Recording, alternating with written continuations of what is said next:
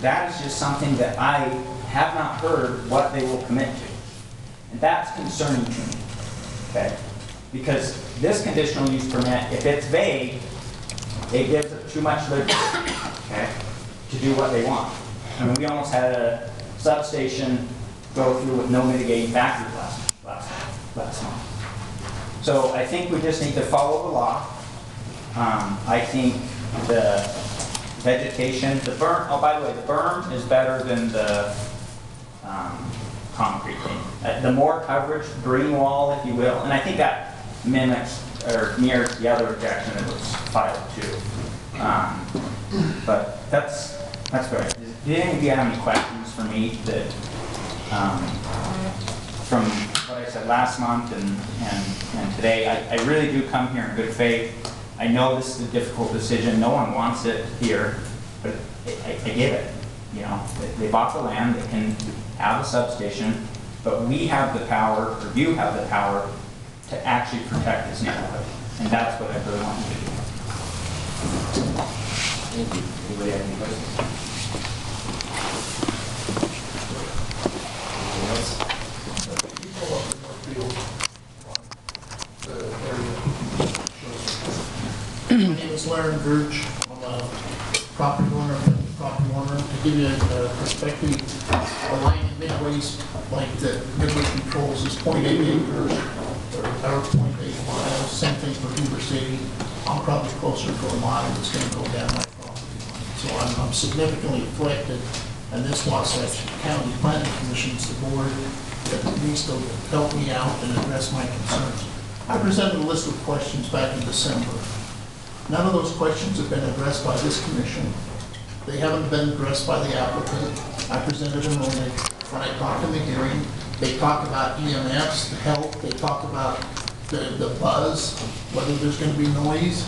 If you notice Jason's question, well, there's no noise in our property line. Okay, what, nobody's asked the question, well, is there noise on the, the poles?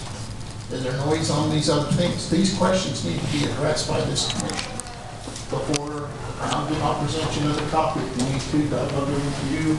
I've got plenty of copies, because none of those were addressed, and I presented them at the December fourteenth meeting.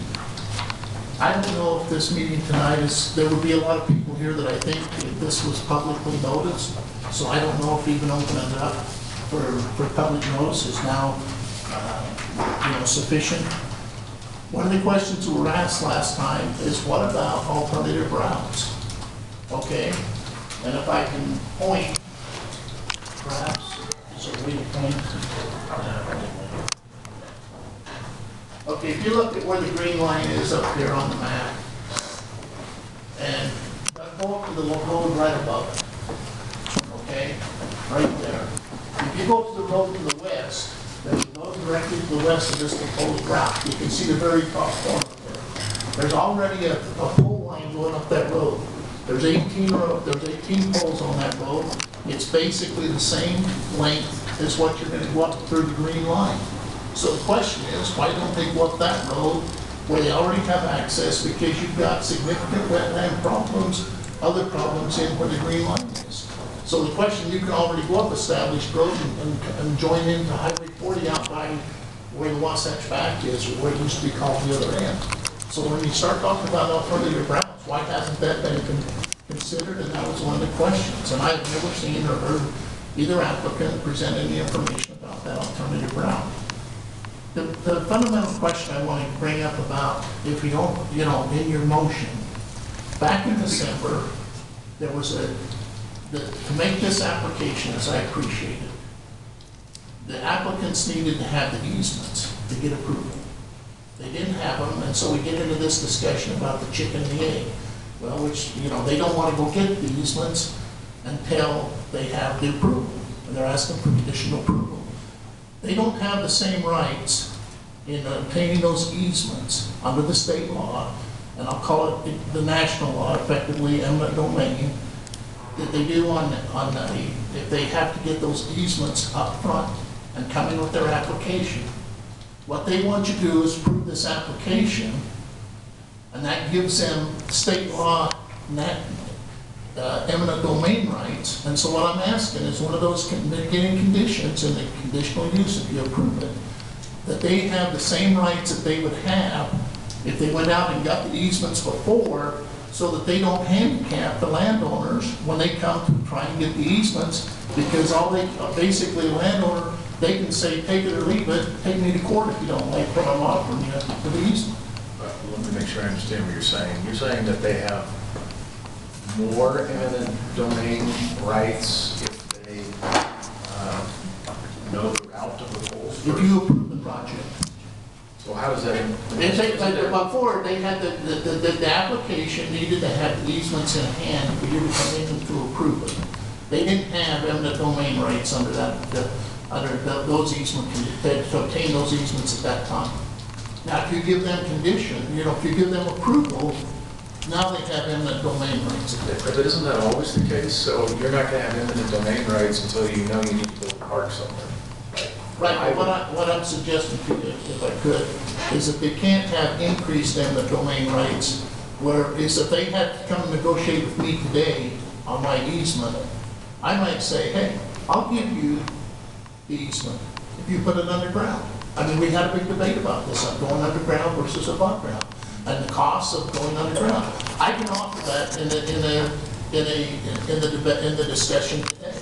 If you approve it without putting some limit on that, then they can come in and say, I'm doing least cost, take it or leave it. And if you don't like me going overhead, I can take it, you can take me to court. I'm pretty sure the law provides that they have to provide you to pay you market value. I- That's I not don't- the point. I'm not, I know your point. I understand your point that, that if they get some sort of official, whatever, conditional use from the county, it somehow elevates their rights on a particular path. I'm just not sure, and I, John, I don't know if you know, I don't think anything that this planning commission does can enhance or impair the rights of eminent domain or, or not. I don't think we impact that. I think the, the rules are the rules, whether they have conditional use permit or not. I don't, Okay, now, and and I guess what I'm. but I'm willing to say I don't know for sure. Do you know? I haven't researched that. I don't think we can change that or give them. I, I- all I'm asking you is to say that they would not have enhanced, you know. I don't think we can comment one way or the other, trying to impact. I think the law defines those rights, and I think a county planning commission can't Well, and shouldn't They- monkey they- with that. Well, the reason I would say that, that I would debate that with you, and and we've got two attorneys here, so forgive me for practicing law here without a license. but- Well, I'm not an expert at it. But, but, but the point is, is if they made the application to get it approved, as they started out in December of 17, they needed to have the easements in hand to get approval. Okay? We, we debated it. That was part of the application, part of the condition. We've since modified it to a conditional use, and now they say, I, I want, I want to know, I want to have approval of the project, so I can go out and obtain the easements. I think that they have enhanced easement acquisition rights by, by having approval versus getting them before and coming to the planning commission and saying, here's the route we'd like to follow. We've negotiated with all the landowners, and they've all given us easements.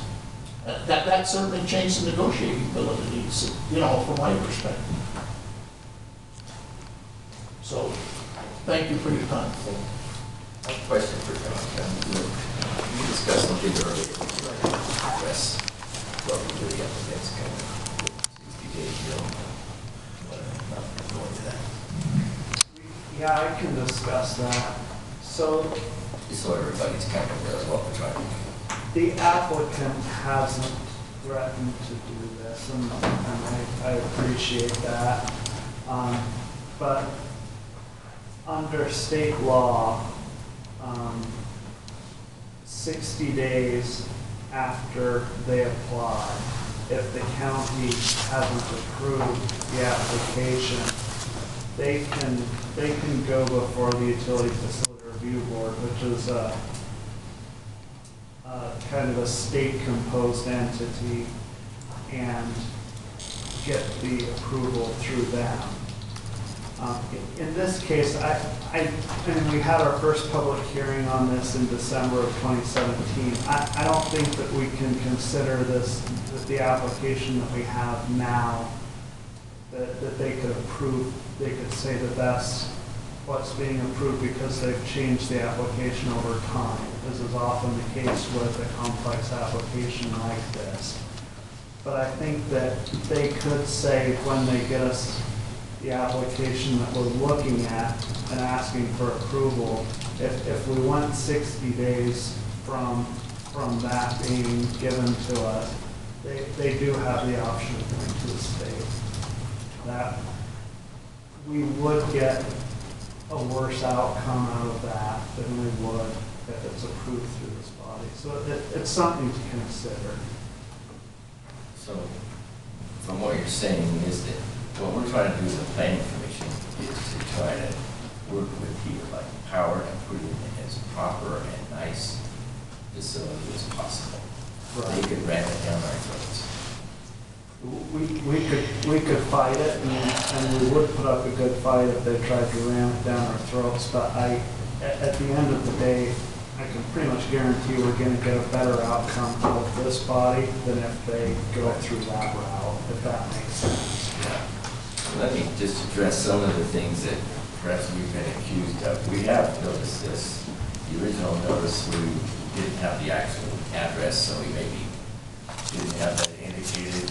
Um, So we've done our, our best to be legally uh, in compliance. Uh, I remind people when they do referendums and they take rights of ownership away, you know, a long time ago, we fought battles to save the bundle of rights that homeowners have to do with what they want to with their properties. Uh, As far as easements go, there are, they are trying to use current easements as best they can. We have driven several tours to various areas that outline different locations. And this one uh, seems to be the best for everybody related to the electrical world and trying to mitigate as many people as it, as it has been. uh, uh, Studied. So we try to do a lot of remedies. We're not gonna be able to do every remedy. Uh, There may be a- an opportunity, and I maybe asking for light power, can, can your items be moved north or south in that area, or is that the only area you can put those pieces of equipment? And, and with that being said, moving into are we the. talking about the substation? Yeah, Uh, yeah, I mean, I alluded that you can move we don't have an issue sliding that to the east. We just want to make sure that we're giving the, the proposed bypass the room they need on that, on that east side think of that, of the property. Um, I think that we can definitely, you know, move a little bit further north. You know, I, the only thing we're trying to do is, you know, on board instruction from me is try to, you know, um, mitigate some of the cost to our ratepayers on the purchase of this property by possibly at one day having an asset that we can sell to recoup. So if you did move it, that's gonna be a big- bigger expense, is that what you're saying? Uh, no, we'll move it. I have no issue moving it a little North bit further south? to the north, you know, uh, and also to the east, to the, to the minimum that we can and still give room for that bypass road. Right. Any other comments? Good good evening, my name is Herb Burnett. My wife Kim and I live on 650 South. There's, uh, you know, we've listened over quite a course of time. Of course, the applicant has put a lot of effort into this, we as the commission as well. So we've heard a lot of concerns, we have a lot of questions and concerns. Some of those, of course, for the commission, and some to the applicant. I don't know if you accept me asking you questions, or if I have something to ask. Tom. is, uh, you know, when we hear the information about uh, Okay, at property line, there's no sound, smell, you know, no impact at all. At property line. So if I step inside the property line, is there, are those, some of those circumstances imminent? You know, what about outside the property line? If there are any of the applicants who have ever walked under a power line and not hear anything,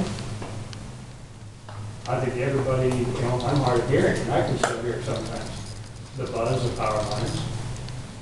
So for them to say there's no impact, depending on part of their application, all the stipulations, no impact, no burden, nothing noticeable, no, it doesn't, doesn't impact the public, no financial burden.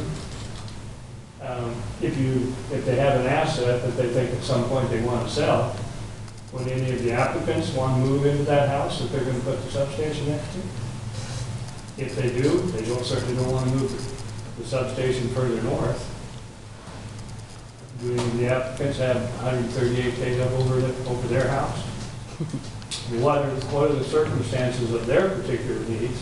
And I realize, with growth in the, in this county, this city, with growth, there has to be growth. Power lines, hospitals, impact, everything. We all accept that. There is growth. But to say, to come in front of the commission and say, there is no impact, there is no financial burden, nothing is noticed. You don't see, smell, hear anything at the property line. I think that's, uh, I think that is, that evidence is, is misdirected. I don't think they can actually say that. As an applicant, they want to minimize everything as much as possible. And know, we've, we've all made applications for something. So they do want to, they do want to minimize the concerns. And that's acceptable, to a point. You know, let's realize, you are going to hear about it, you're going to hear some, there is going to be an impact. It's pretty hard to bury or to hide, to say there won't, you know, total mitigation. It's pretty hard to hide a thirty-five foot structure with a five foot berm and some trees on it.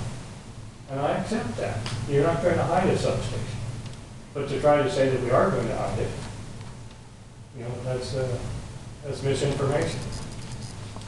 So, and they hope not to see metal structures at certain points, but there's nothing, if they get a, a, uh, get approval, well, we had to put a metal structure. That's okay. But to say we hope not to, and then think, well, we just have to do it. Number of miles, number of lines, of distribution, and all the things, you know, I think you heard, uh, one commissioner ask the, uh, you know, impact, what are the plans with the house? With that uh, residence, if they do have plans of, you know, at some point selling it, I would bet there are none of the applicants or their families are going to buy it. So, to minimize it, yet we don't want one in our backyard. So I just want the commission to know that there are concerns, and I know you have a job to do. We can all appreciate that. There's going to be growth, we have to accept. But let's not hide the facts. Thank you very much. So, just from my point of view, chairman here, we haven't tried to hide the facts. I think they the applicants have. And and I think what they're talking about is the substation not having a lot of noise, not the lines. The lines have always, they never talked about the lines making noise. So they've never, ever said that they would, lines sometimes hum, but they're talking about the substation. They have mitigated all kinds of things. They- I understand. it's wood poles instead of metal. They were gonna be all metal throughout the whole thing, right? Now they're gonna be wood. Many, you know why we use metal?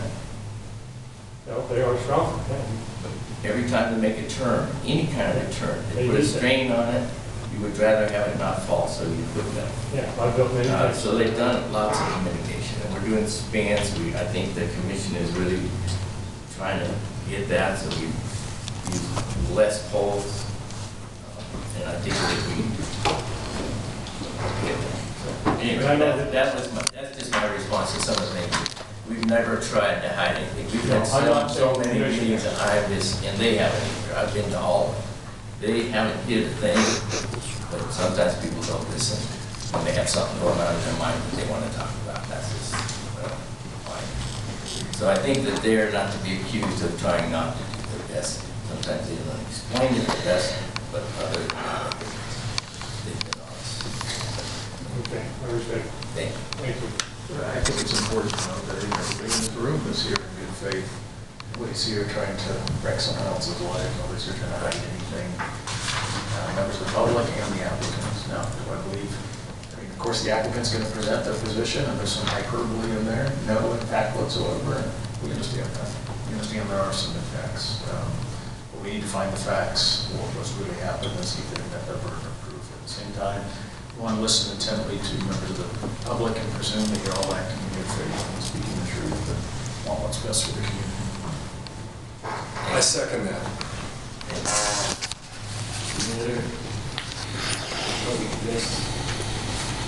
Tracy Taylor again. I, I just have one more point, since I was on a timer and nobody else seemed to be on a uh, timer. We're bad at timers. Well, there's a lot less people here tonight because nobody knew there was going to be a public hearing. And the one you actually noticed back at- for June 4th, this place was packed and they didn't get to speak. So this, is you guys brought up the 60-day deadline that seems to be out there. And my point only is, um, my complaint was based on the fact that I don't think we did a proper process back at the beginning of June. So I'm thinking we buy a few, a couple more months to start over, do this right, notice a public hearing, actually let the people speak, because nobody's here tonight to speak. Okay, thank you. That's what I'm trying to say, is get an application that is, actually has correct information on it. Notice the public hearing with an actual address on it. If you do it correctly, then that starts the clock, I would presume, because so far this has just been two meetings that might not be productive. Let me just say, it doesn't start the clock. As you heard our own legal counsel say, as we have these applications that are very difficult, very sometimes contentious, they get adjusted every once in a while. And that's what's happened. As I So said, it's have- substantially changed in the law. So whatever that means. And it's And we have to substantially changed that. because of the public input. We have driven around and done tons of things to try to mitigate everything that we possibly. I'm talking about the substation being That- added. that That is a tried to substantial change to the application.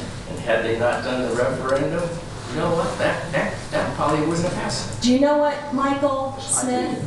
Um, Just because you brought up the referendum twice in the last 10 minutes, know, it is protected in the Utah Constitution that the citizens have the right to petition their government. I understand. So, you know, something that might you not- need to understand that this is the right of all citizens in the state of Utah to do this. It does, but it also has its consequences, and this is one.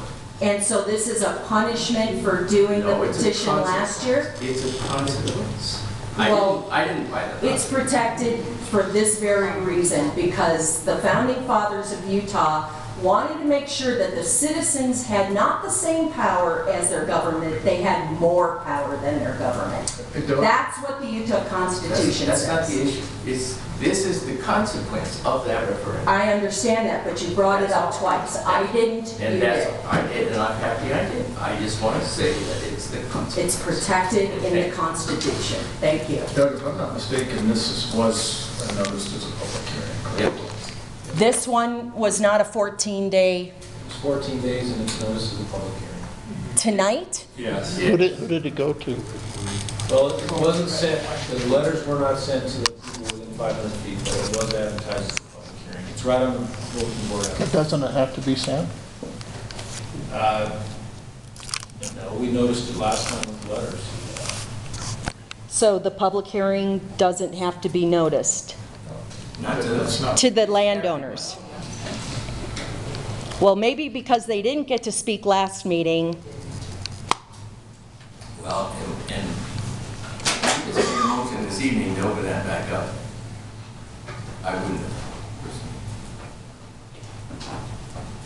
Well, thank you for that. Thank you for doing that.